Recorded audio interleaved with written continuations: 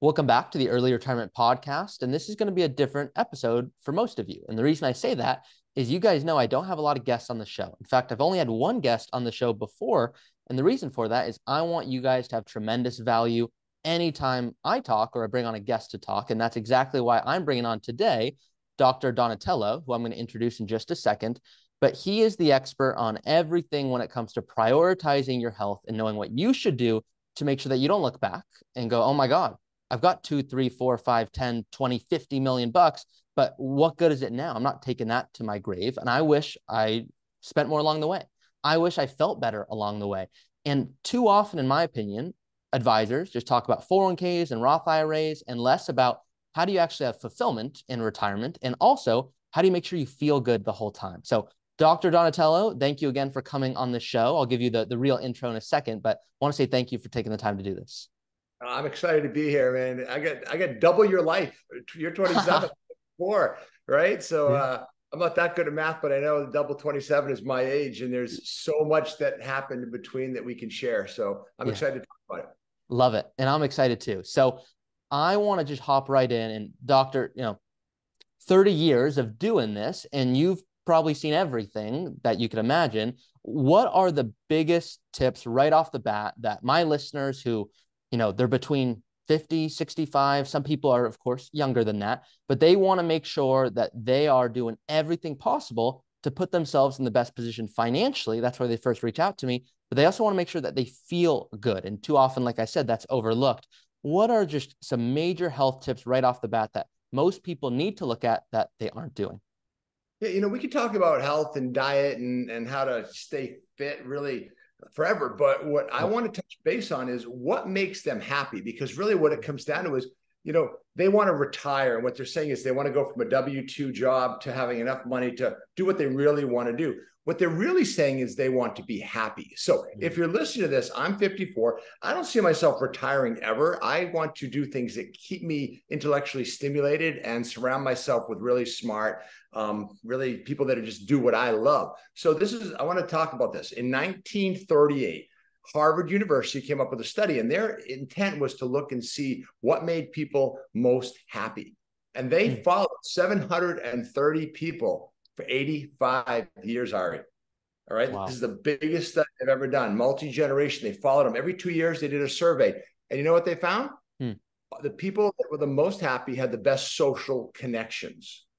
Okay. So hmm. if you were to ask me, really longevity wise and we can talk about longevity we do a lot of stem cell therapy and we have a we have a lot of metabolic reset weight loss programs to keep people metabolically healthy but i think it's what it comes down to is taking your your physical, chemical, and emotional stressors and minimizing them. And when it comes to being happy, according to the Harvard study, emotional stress, I think, is from having toxic friends around you. I know we're going in a different direction, right? But having toxic friends, people that if you share your wins with them, right, and they don't support those wins, and you feel like you have to hold back, um, and everyone listening, you, have a toxic friend those are the people that are going to keep you less happy and you're going to enjoy your quote unquote retirement less to keep those people around. So I hope that helps a little bit. Yeah, no, that's interesting. What can people expect those that are working right now? Because you hit a big word there, which is social. A lot of people listening, they're working a job and they're going, Hey, I, I kind of like this, but you know, there's going to be a day where I'm no longer working and I'm not going to have that social network. How do you stay happy when you're no longer at work? Yeah, a great question. I think that you're at work how many hours a week? You have 168 hours in a week, and you're at work maybe or 35 to 50, let's say. Mm-hmm. Um, that's a lot of hours. And I think that there's so many ways to connect with people and and that really vibrate on your frequency that are in the same energy path as you what, whatever that is, um, you know, the reason pickleball has taken off in an older crowd, which is great for our stem cell therapy, because um, people wreck their knees and hips. But what's happened if you ever play pickleball, it's super social, right? So whatever it is, if you're if you're playing cards or if you like to quilt, uh, there's a million ways with the internet to connect with people. So don't wait until you're retired to form that social group. You know, the five people that you surround yourself with, and think about that. If you're driving in the car or listening to this, right now, think about the five best friends you have, right? And again, back to toxicity and good friends, try to identify really do they do those people support what you love and, and love to do?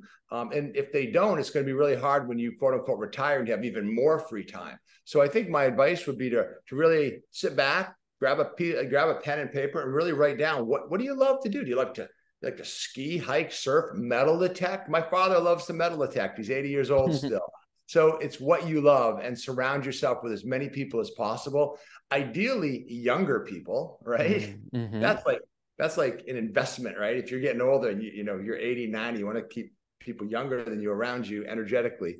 Um, you know, the gym you go to, surround yourself with like-minded people. Yeah, wonderful. And a lot of the new listeners, you won't know this, but the, the, returning listeners, you know that when I give you my free ebook, which of course you can get in the description of this podcast episode, or if you're listening on YouTube, that free ebook, I ask you a question. I go, What are you most excited to never have to deal with once you're retired. And some of you say waking up. Some of you say commuting. Some of you say, Ari, I'm actually just scared to death to retire because I don't know what I'm going to do. So that might blow your mind, Dr. Donatello, but a lot of people are scared to death because they don't know what they're going to do. So you mentioned pickleball right there. Are there other things that, as a doctor, you saying, hey, these are things that I think people need to know about if you've kind of put 30 years into this job and, and now the next 30 years are scary? Yeah, well, I'll get a story for you, okay? Because I know you like stories. I used to be a chiropractor way back when, and for 20 years had 10,000 patients. We had a place called the Portsmouth Naval Shipyard. We're on the coastline north of Boston, and the Portsmouth Naval Shipyard. People would start working there when they were 18. It was a great government job, and they would mm-hmm. work their way up, and it was consistent. I worked with a lot of them. And I would see guys that would almost across the board when they get to be about 58 to 62, they retired. And there was this one guy, he was so excited about retiring. Um, he had a garage built and he just wanted to sit in his beautiful leather chair and he bought this big screen TV and he went from moving around the plant for all those years physically active to sitting on his butt watching TV with no friends and died 6 months later with and he was the richest guy at his funeral because he never spent a dime. So what I would say is don't be the richest person at your funeral. Um, also, the, to, so it goes back to longevity. And the number one thing that's that slows down longevity or actually what people die from Ari as they get older mm-hmm. is they become less stable. They become weak and they fall and they break a hip. Or worse what they'll do is they'll twist their knee twist a hip maybe hurt their back or neck. And now they're going to pt they're on medication and they aren't active anymore. So really the reality is once you stop being active you put weight on around the middle you slow down your metabolism slows down your immune system slows down right? Look at the people that died from covid right? 82% of them were overweight. So the, what happens is you really want to take be strong be stable not fall over because when you fall over and you break a hip if you're in the hospital you're laying on your back you become supine and what happens is this pneumonia takes over and that kills more people pneumonia from being wow. inactive. Your lungs aren't able to pass um, you know, fluids; they become stagnant, and that's what kills more people. Second, pneumonia secondary to falls is the way most people die in this country, which is they're not told this. Yeah, yeah, that is powerful. I hope you all just heard that. Do not die the richest person at your funeral. You don't get to take that with you. And it's really hard to do all of this with confidence, of course, unless you have a plan. So a lot of you already know this, but that's why I do what I do is I want to make sure your finances are in order so you can go spend and not go, oh my gosh, if the markets went down, am I not going to be okay? I want you to make sure you're going to be okay, but I also want to make sure that you are prioritizing your health and you're not staying at a job that is not healthy for you. And I'm not talking financially healthy, I'm talking life healthy because what you just said there, doctor, I think is just so important that most people overlook because it's easier to just keep working. It's like, I already know this. I know my coworkers. I know I wake up at 5 a.m. and I know I drive, then I do that. It's harder to actually do what you just said, which is take a second, take a pen, take a piece of paper. What do I want to do? That's actually more intimidating to most. So, what you just brought up a few really important things regarding how most people end up passing, never fun to talk about, but important what are some of the things that people can start doing today, literally at work, to make sure that they are prioritizing their future self? You know, I think that if the, walking is super important, right? I think that a lot of people have free time during the day, but their mindset is like, well, I can't get out and walk. Um, um nowadays, post COVID, uh, you know, a lot of people work from home. The bosses are much more apt to let you go and and you know take time walking while you're working. So this is what I would say: um, get AirPods, put AirPods in, and if you have a call, so during the week, a lot of people, and this isn't everybody. Some of you are working on plants or physically working on things, but if you are, and I do this all the time, I walk about ten to twenty thousand steps a day. I'll identify certain calls. Now I'm my, my own boss, right? Um, but I identify certain calls that I don't need Zoom involved, and I put my earphones in. I go to a place where there's good reception, and I'll walk through the whole talk and get my exercise in at the same time. I mountain bike all the time on calls, all the time. So it, it, it drives people crazy sometimes because they're like, "What are you doing?" Oh, they, in fact, they know I'm out in the woods, right? Uh, you know, I, I ride there. There's some places, Ari, where you would where I ride up here in New Hampshire where it's like deadly, and I'm on a business call, and they have no idea I'm like on the edge of a cliff. Um, so again, back to the original um, advice is walk as much as you can and see if you can multitask with some headphones in your ears, or just just walk more podcasts. You know, listening to find people like you, right? Um, go out. Don't sit at your desk. Walk. Figure out a way to get out there and, and uh, be active. I think that's a creative idea that most people overlook and, and we couldn't do that without covid. And, and that to your point doctor is most people a lot of people i will say are at home right now and they're just really struggling with this idea that my home is here my work is here and they don't get out and walk even though the reality is it's not easy. But if they ask their boss hey can i one with permission of course go and do a walk on, on that call they're probably not going to say no. Now, some things, of course, you have to be at your desk for, but I think you're right. And I think they just need to hear it. Wow, yeah, I do need to go, go walk. And that's easy. It's not saying, hey, you got to go do CrossFit or you're going to not going to no. be okay. You know what I mean? So if you're, especially if you're, if you've been around, if you're 45, like you said, a lot of your listeners are 50 to 60, mm-hmm. they're probably in a position where they make the rules. And I, I, if you're doing eight Zoom calls a day, you don't have to do Zoom it can be a phone. You make the rules. Say, all right, this call, and, and write it in your book. Set your schedule up. At least three, four times a week, you're going to be able to get out and walk for an hour if you set your schedule. So again, it's all mindset. Um, be be proactive, not reactive to other people, right? And um, you know, take a stand. This is what I'm doing, and you guys have to react to me. I'm going to go walk. I'm going to do whatever it is. Beautiful. What other stories, as you know, a lot of my listeners love stories, and I think, of course, you have a, plethora to share. What other stories do you go, wow, I just would love your listeners to hear from people who are in their 50s and 60s who have done it really well? And then maybe even some other stories from those who haven't done it well that go, wow, I wish I would have done some of these other things. Um, you know, uh, what, what pops in my head, one of the things that I want to talk to people about, because we work with a lot of people that are overweight, that are heavy. Um, one of the things that I try to get across to people all the time is that in is it when it comes to joint pain, that's keeping you from being active, right? So we we had a lady that was 310 pounds, a very active lady. She was actually a, a CFO in a company, but she let her weight get out of the way. All, in the way, all she did was work. And she came in. We have over two to three thousand people that go through our weight loss program. We have health coaching, functional medicine, nurse practitioners. We have an MD. Um, but the big and, and 80% of those are virtual. Um, so the they're from all over the country. But this one lady, she was 310 pounds, and what she did was I we brought her in the office and, and she went upstairs. We had her go upstairs by mistake. We should have kept her on the first floor because or she couldn't walk very well. Mm. And her knees were just wrecked, right? So people think, well, it's because she's 310 pounds.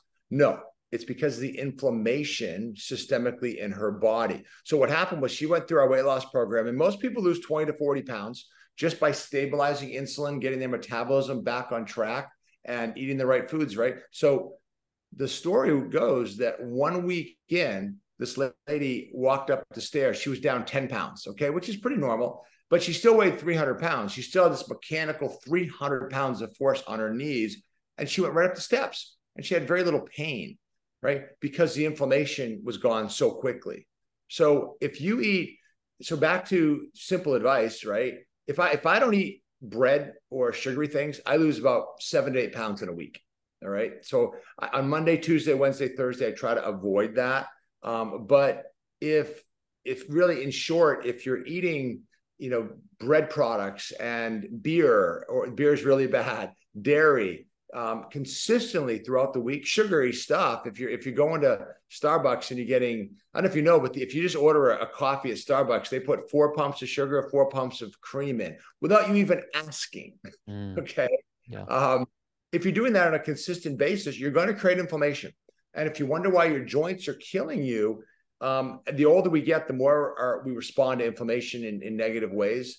Um, so I know that if I don't eat well, I'll feel my thumb. I broke it mountain biking. I'll feel my thumb secondary to not eating properly um, or having like an espresso or martini or two, which I don't like doing, but occasionally I will. Um, yeah. So what I'm, I guess the moral of the story is how you eat directly affects pain in your joints. And the whole thing is if you want to go into early retirement, you uh, you don't want to do it with 20 to 40 pounds around your middle because it's uh, it's not a fun way to be active and see the world trying to lug an extra you know golden retriever around if you think about it. Yeah so important and lo- love those stories by the way. Here's what i want to end on if it's okay with you um, doctor i'm a big soccer player i, I bought a semi-professional soccer team and my brother and i we co-own it i know a lot of you have sent me fun messages of just saying that's cool that you're doing that and you know if i told my clients go live awesome lives but i didn't do it then it would be kind of hard to listen to me so i played soccer in college and I'll, I'll joke with my partner and my friends i'll say I am not fun to be around when I'm injured.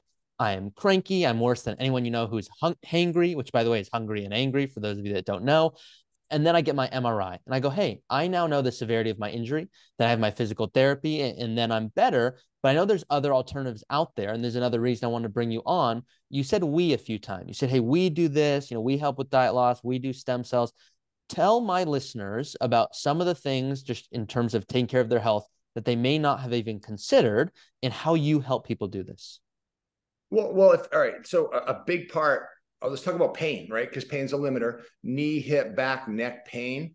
If you go to a pain clinic they're going to inject cortisone or put you on medications. Hopefully not oxycontin but they still do it right? Hmm. um, pain clinics run by mds in this country are basically drug inducing people. That's what they do. They're drug dealers right? And what if you found an MD who worked with the right um, visualization, the right ultrasound, the right um, ways of looking into the body, and instead of injecting cortisone or drugs, they injected stem cells into the joints. Well, that's what we do. We have an MD that has a pain clinic, pain management clinic, but he also takes, we've trained him to use these biologics that can actually heal tissue. Um, it's from purified amniotic fluid. It's from a healthy baby, healthy mom and there's nothing like it to heal. We have half the NFL is using this nowadays. So there's, I guess, the moral of the story is insurance doesn't cover this. You have to pay for it out of your pocket, but it, you have to find the right doctor. And we have people that fly into Boston all the time to, we're an hour north to have these treatments. Um, but you have to find the right person. So we're, that's a great way is to take care of your joints in short, stay strong, take care of your joints, keep the weight down. Yeah, love it. And let me be clear you know, I, haven't had this procedure done, of course, myself. So this is not me just saying, hey guys, this is an advertisement. I want you to truly know that of all my clients I work with right now, the happiest ones are just not in pain. Yes, can we get your finances in order? Of course, like invest well, do tax strategy, make sure that you're doing all the things so you know where's income going to come from. But once that stuff is in order, and maybe even before that, are, are you in pain? And I don't want you to be doing that slow travel or, or I don't want you to be doing anything where you're doing some volunteer work or part time work or whatever it is that you want to do w- once you really have retired. And now you're going, hey, I've got a few million bucks. I, I feel good um, in terms of my financial situation, but I don't actually feel good in my body. And so, whether it's looking at stem cell therapies, which is most people overlook, in, in my opinion, can be an awesome alternative for a lot of you. Sometimes you guys just need to make sure you're being more disciplined. And it's not easy and so, what can you do? Well, you can have a community, just like Dr. Donatello just said there. How do you have more friends that do this? How do you surround yourself with younger people? I know a lot of you have shared that Meetup has been really helpful. I brought that up to a lot of you before. Meetup, um, ClassPass, doing some of these different things that you just may not have known about before this. I want this, of course, to be the most helpful podcast for you when it comes to, yes, your finances, but also your health and fulfillment. So this has been really helpful, I think, for a lot of my listeners, doctor. So thank you for taking the time to do this.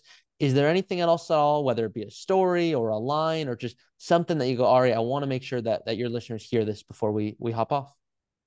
You know, I, I think uh, don't overlook the toxic friends, right? This is the hardest part of this whole talk because you're sitting there going, oh man, I know I should break up with that person, but how do I do it? And that's really hard, especially as you get older. Some of your people that aren't progressing the same the way you are, right? So if they can't share your wins, get rid of them. It's harsh, but life is too short to keep people around you. And and trade them in. Don't get rid of them, but trade them. Trade them for somebody that that is on your page, someone that you've met at Meetup, like you mentioned. Great idea. Yeah, wonderful. And don't die the richest person at your funeral. I, love that line there. So um, wonderful. And once again, thank you for taking the time.